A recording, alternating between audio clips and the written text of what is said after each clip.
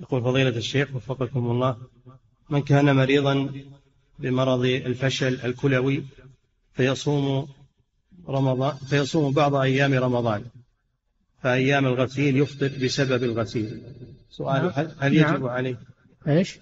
يقول من كان مريضا بمرض الفشل الكلوي نعم فيصوم بعض أيام رمضان دون بعض حيث إنه يفطر في أيام الغسيل نعم. غسيل فهل يجب عليه قضاء هذه الأيام التي أفطرها أم أنه يفدي مباشرة؟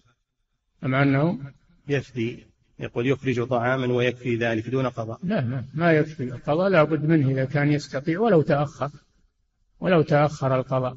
أيوه يؤخرها إلى الأيام التي يقدر فيها على الصيام. ولو متفرقة يصومها ولو متفرقة أو متأخرة ما, ما في بأس. إنما الإطعام إذا تعذر القضاء. مطلقا لا في الحال ولا في المستقبل.